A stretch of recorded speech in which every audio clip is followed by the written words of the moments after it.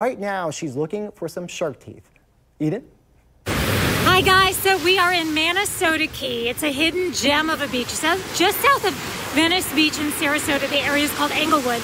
Now, Venice Beach itself is the self proclaimed Shark's Tooth capital, and it's host to a big Shark's Tooth festival. And here's why according to Venice Magazine, the waters around Florida have always been full of sharks, obviously, and that even includes the extinct megalodon, which is the largest shark that ever lived. And wherever there are sharks, of course, there are going to be shark's teeth too. So sharks' mouths are full of teeth. Sometimes they have as many as 15 rows of teeth and produce and lose teeth constantly. In fact, I am told that a single shark could lose as many as 50,000 teeth in its lifetime. And because of the shallow and sedimentary conditions of Venice and their surrounding beaches, there are a lot of these thick fossil beds where people are using these sifters and finding these shark's teeth like crazy. In fact, I just met a couple from out of town and they have been having a lot of success today. How long have you been out here doing this? We've been here for maybe 30 minutes now. Have you been finding things? We have a little pouch. You found all of those so far? Yes.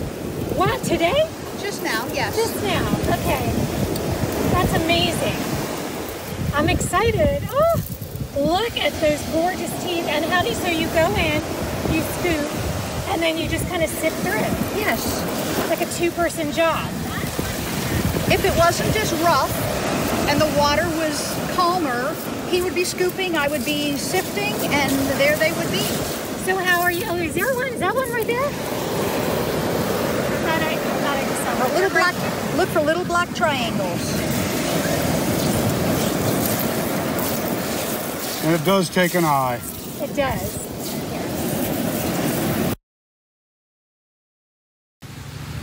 Our friend Lance Lovell, the digger dude, even made me a sifter just like the one these guys were using. I have a chop saw. Oh, I can get a little fancier, so I ripped down a 2x4, put some 45 degree angles. Um, this stuff here is called machine cloth. If you go to Home Depot or Lowe's and you ask for a machine cloth, it's going to be out in the garden section. Nobody knows where that stuff is. So, machine cloth, just some wood to make your frame, and some pool noodles. That's about all you need. All right, so we're going to head in now to the waters and we're going to see how we do with our homemade sifter here in uh, Manasota Beach near Venice. Back to you.